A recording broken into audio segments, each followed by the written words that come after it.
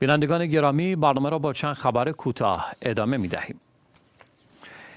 پایگاه اطلاع رسانی رس... ببخشید پایگاه اطلاع رسانی دفتر آیت الله العظما سید صادق حسینی شیرازی جزئیات مراسم تشییع و تدفین مرحوم آیت الله سید علی شیرازی فرزند آیت الله العظما شیرازی را اعلام کرد بر اساس این اعلام مراسم تشییع این عالم وارسته روز پنج شنبه در شهر مقدس نجف برگزار می شود و این مراسم از مسجد شیخ توسی ساعت 9 صبح آغاز می شود.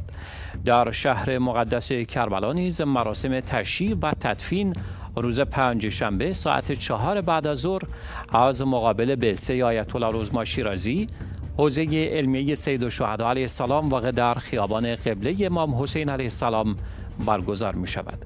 همچنین مجلس ختم برای بزرگداشت این عالم ربانی از روز جمعه به مدت دو روز ساعت سه بعد از ظهر در به سه آیت الله شیرازی در شهر مقدس کربلا برگزار می شود.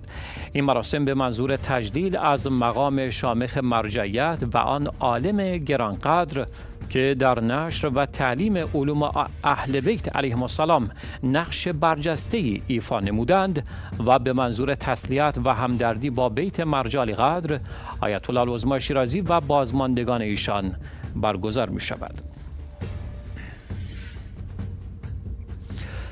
بخش زنان سازمان ملل می‌گوید طالبان در سه سال گذشته با صدور هفتاد فرمان مستقیما استقلال، حقوق و زندگی روزمره زنان و دختران در افغانستان را هدف قرار داده است. سازمان ملل متحد می‌گوید که وضعیت حقوق زنان در افغانستان تحت حاکمیت طالبان به شدت بدتر شده است. بخش زنان سازمان ملل می‌گوید طالبان در سه سال گذشته محدودیت های جنسیتی مانند ممنوعیت زنان از کار، آموزش و ورود به فضاهای عمومی از جمله پارک و باشگاه های ورزشی را وضع کرده است. سازمان حمایت از خبرنگاران افغانستان می‌گوید که طالبان پس از تسلط دوباره در افغانستان محدودیت های شدیدی بر کار رسانه ها اعمال کردند.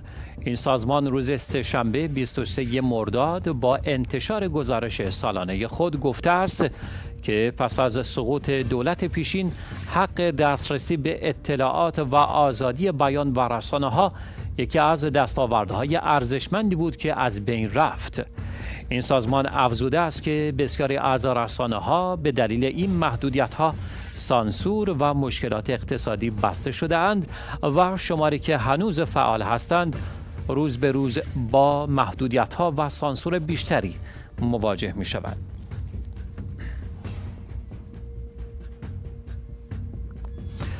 فرهان حق معاون سخنگوی سازمان ملل متحد طی سخنانی اظهار داشت آنتونیو گوترش دبیرکل سازمان ملل از ها برای بازگرداندن آرامش و سازماندهی انتخابات پارلمانی در بنگلادش استقبال می کند.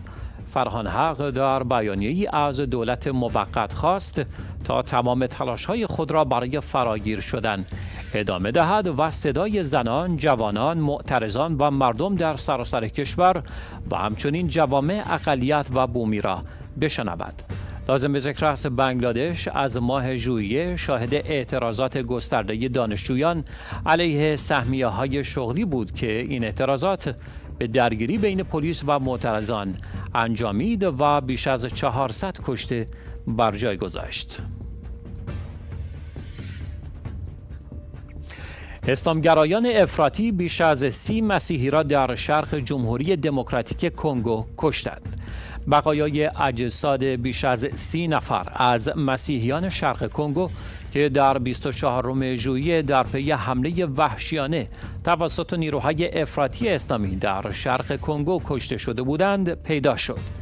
گفتنی است این اجساد که بسیاری از آنها سر بریده شده بودند در منطقه باتانگی مبا در قلمروی بنی در شمال کیوو جمهوری دموکراتیک کنگو کشف شدند.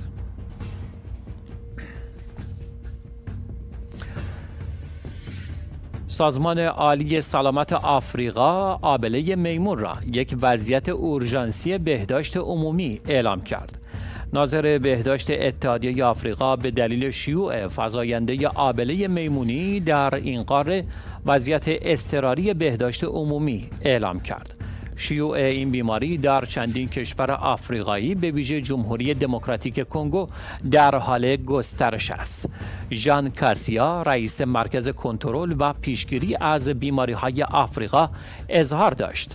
آبله میمونی از مرزها عبور کرده و هزاران نفر را در سراسر قاره ما تحت تاثیر قرار داده است و خانواده ها از هم پاشیده شده اند و در دورنج هر گوشه از قاره ما را تحت تاثیر قرار داده است.